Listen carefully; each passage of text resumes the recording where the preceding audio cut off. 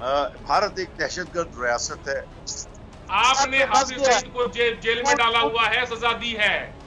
FATF में India सफाइयाँ देता नहीं फिर रहा। आप फिर रहे हैं जनाब। मैंने बोलना क्या शुरू किया आपसे तो बर्दाश्त तक नहीं हुआ कि बंदा बोल क्या रहा है। क्यों पाकिस्तानी आवाम से झूठ बोल रहे हैं? थोड़ा शर्म करें। आपके पाकिस्तानी तो लोग जो बाहर के मुल्कों में जाते हैं वो इंडियन रेस्टोरेंट खोलते हैं। वो। पाकिस्तानी रेस्टोरेंट नहीं खोलते। आप जब सड़क पे चल रही होंगी ना तो किसी से कोई गोरा जब आपको देखेगा तो वो यही कहेगा कोई हिंदुस्तानी जा रही है। कोई ये नहीं कहेगा पाकिस्तानी जा रही है। ये क्या बात हुई कि पाकिस्तानी खुद को भारतीय बताते हैं? इतना झूठ?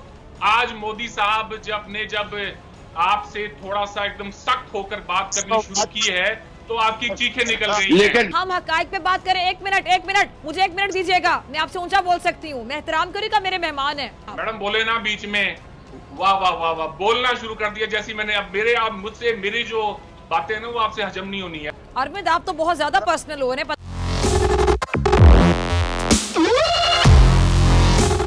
नाजिन एक रियासत है जो इस गुमान में ज़िंदा है कि वो एक सेकुलर और जमहूरी रियासत है। एक रियासत है जो ये समझती है कि वो जुल्म करके, इंसानियत को कुचल के, बच्चों की आँखें निकाल के, नौजवान के सरों और सीनों पर गोलियाँ बरसा के, मासूम बच्चों के सामने उनके बाप, दादा को कत्ल करके, उनकी तजलील करके, जाली मुकाबलों में कश्मीरी नौजवानों को कत्ल करके और उन पर पाकिस्तानी होने का इल्ज़ाम लगाकर कामयाब हो जाएगी। तरक्की करेगी, उनको ऐसा लगता है। कश्मीर हासिल कर लेगी, कश्मीर को अपना बना लेगी। तो नाजिन आज मैं उस रियासत को ये याद करवाना चाहती हूँ कि वो रियासत याद रखे, ये उसकी भूल है। कश्मीर ना कभी भारत का था और ना कभी होगा। कश्मीरी ना कभी भारत को कबूल करेंगे और ना ही भारत को गले लगाएँगे। कश्मीरी ना कभी झुकेंगे और ना कभी बिकेंगे। याद रखिएगा, भारत में गुजश्ता रोज जम्मू में आपने देखा कि जाली मुकाबला हुआ। उसमें चार कश्मीरियों को शहीद किया गया और फिर इल्ज़ाम ये लगाया गया कि वो पाकिस्तानी है। भारत ये इल्ज़ाम लगाता है पुलवामा हमले में हमने देखा कि पाकिस्तान पे इल्ज़ाम लगाया गया था। मगर भारत सिर्फ़ इल्ज़ाम लगाता, सबूत पेश नहीं कर सकता। भारत और अपने आप को कितना एक्सपोज करेगा, बेनकाब करेगा दुनिया के सामने? चाहता क्या है भारत? के भारत का काम भारत एक दहशतगर्द रियासत है। मोदी मोदी जी, जैसे कि आपको याद होगा, गुजरात में जब 2000 मुसलमानों को कत्ल किया गया तो यही मोदी जी जिन पर उस जमाने में अमेरिका ने इन पर अपने मुल्क में दाखिले की पाबंदियाँ लगाई हुई थी। चुनाचे ये एक दहशतगर्द रियासत है, इसका वज़ीर अजम दहशत गर्द है, कश्मीर पर नाजायज काबिज है और मुझे तो अफसोस इस बात का है कि पाकिस्तान की हुकूमत किस इंतज़ार में बैठी हुई है। कश्मीरियों का खून गिरता रहेगा, ऐसे चार नौजवान, क्या 40 और 400 नौजवानों के खून होते रहेंगे और और भारत उनकी लाशों पर नाचता रहेगा और पाकिस्तान पर दहशतगर्दी का इल्ज़ाम लगाता रहेगा? वक्त आ गया है कि हम अमली इकदाम उठाएँ और बाबरी मस्जिद को गिराने वाले दहशतगर्द मोदी और उनकी पार्टी व भारतीय जनता पार्टी, इन सब के ऐसे हिसाब किताब बराबर करें। भारत ने फिर इल्ज़ाम पाकिस्तान पर लगाया है और भारत का मौकफ है कि जी एलओसी से पाकिस्तान वहाँ दहशत गर्द भेज रहा है। अगर ऐसा है तो फिर कश्मीर में इतनी फौज लगाने का क्या फ़ायदा? इतनी सेना लगाने का क्या फ़ायदा? जब वो सरहदों पे खड़े होकर कुछ कर ही नहीं सकते। तारिक पीरजादा साहब ने जो चार्जेस लगाए हैं यहाँ पे, और ये एक रवायत बन गई है कि जो भी पाकिस्तानी आता है से सबसे पहले यही बातें निकलती है, बाबरी मस्जिद, गुजरात, और न जाने क्या क्या माने इसके अलावा कुछ है ही नहीं और बात करने के लिए।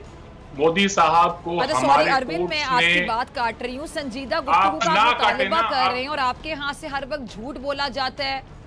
आप मुझे बताएँ हर वक्त झूठ बोला जाता है। अब ये झूठी जो स्ट्राइक्स के दावे तो संजीदगी तो भारत में नहीं है।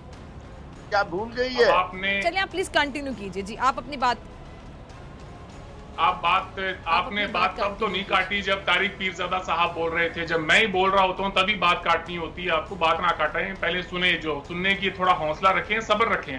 आपको पूरा मौका मिलेगा। आप ही का शो है जी मेरा नहीं है। जी चले चले। चले हाँ। जी बड़ा सबर है हमारे तो हमें चले आप सुनाइए हम सुनते हैं।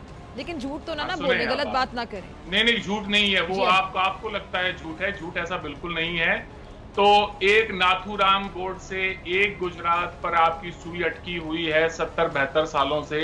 मैं आपको ये बता दूँ, हिंदुस्तान के हिंदुओं के हर शहर के अंदर, हर मुकद्दस शहर के अंदर हमारे जो मस्जिद हैं, वो मंदिरों के बराबर शाना बशाना खड़ी हैं।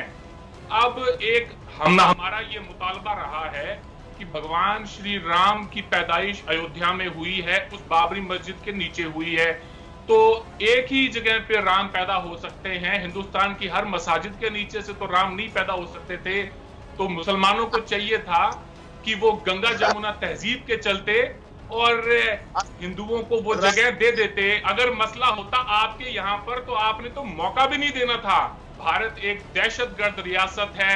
आपके बोल देने से भारत दहशतगर्द रियासत नहीं बन जाती है।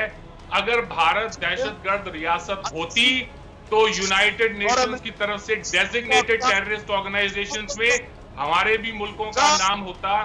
एफएटीएफ में आप जो सफाइयाँ देते फिर रहे हैं पीरजादा साहब वो वो इस बात की तस्दीक करती है कि टेररिस्ट मुल्क आप हैं। दुनिया भर की बैंड टेररिस्ट ऑर्गेनाइजेशंस आपके यहाँ पे पाई जाती हैं जनाब हिंदुस्तान में नहीं पाई जाती। आपने हाफिज सईद को जे, जेल में डाला हुआ है सजा दी है। एफ़ में इंडिया सफाइयाँ देता नहीं फिर रहा। आप फिर रहे हैं जनाब। तो आप ये बड़ा कन्वीनियंट है। मे बी पब्लिक कंजम्पशन के लिए आप बोल दे मगर कुछ सुनने वाला है नहीं इन बातों को। जी। ये प्रोपेगेंडा है भारतीय अफवाज का। जरा मुझे इस बात प्रोपेगेंडा तो प्रोपेगेंडा तब है पीरजादा साहब जब आप मैंने बोलना क्या शुरू किया आपसे तो बर्दाश्त तक नहीं हुआ कि बंदा बोल क्या रहा है। हैं? आप जब आप जब बोल रहे थे तो मैं सुन रहा था आपको। अब मेरी बारी आई है थोड़ा सबर करें इन चीज़ों को पचाना सीखें। दहशतगर्द का नुमाइंदा बन के बात कर रहे हैं। आप खुद बात करें। क्यों पाकिस्तानी आवाम से झूठ बोल रहे हैं? थोड़ा शर्म करें। नहीं है। आठ सौ मिलियन भारतीय वो है जिनके पास रोटी नहीं है। उनके चेहरे गड़े हुए हैं। उनकी खाल आँखों आँखें जो है धसी हुई है। ये भारत का चेहरा है असल एक पाकिस्तानी नौकरी के लिए आया था यहाँ पर। उसको ये कहने में शर्म आ रही थी जॉब इंटरव्यू में कि मैं पाकिस्तानी हूँ। उसने कहा अरविंद भाई मैं इंटरव्यू में ये बोलकर आया हूँ कि मैं इंडिया से आया हूँ। आपके पाकिस्तानी लोग जो बाहर के मुल्कों में जाते हैं वो इंडियन रेस्टोरेंट खोलते हैं। वो पाकिस्तानी रेस्टोरेंट नहीं खोलते हैं पाकिस्तानी हर जगह पाकिस्तानी ही कहलवाते हैं। कोई नहीं कहलवाता। फिजा डॉक्टर फिजा आप जब सड़क पे चल रही होंगी ना तो किसी से कोई गोरा जब आपको देखेगा तो वो यही कहेगा कोई हिंदुस्तानी जा रही है कोई ये नहीं कहेगा पाकिस्तानी जा रही है। अरविंद आप तो बहुत ज़्यादा पर्सनल हो रहे हैं पता नहीं आप लोग अंदर क्या गमो गुस्सा है पाकिस्तान को लेके। एक मिनट ये बहुत बड़ा कॉम्प्लेक्स है। मेरे मुल्क की आएगी ये एहसास कमतरी है ये एहसास कमतरी है जो आप लोगों को देखिए आप आप ये क्या बातें कर रहे हैं? हम दुनिया के अंदर जाने वाने जाते हैं तो आपको नहीं कहा कि आप भारतीय हैं? भारत एक मिनट। हम हकाइक पे बात करें। एक मिनट एक मिनट। मुझे एक मिनट दीजिएगा। मैं आपसे ऊँचा बोल सकती हूँ। मैं एहतराम करूँगा मेरे मेहमान है। ये क्या बात हुई कि पाकिस्तानी खुद को भारतीय बताते हैं? इतना झूठ?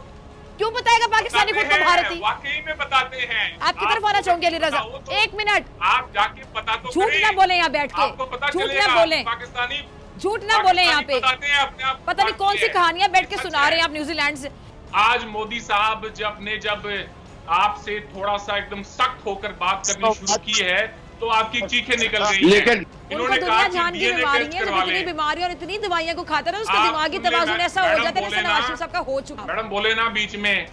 वाह वाह वाह वाह बोलना शुरू कर दिया। जैसी मैंने अब मेरे आप मुझसे मेरी जो बातें ना वो आपसे हजम नहीं होनी है।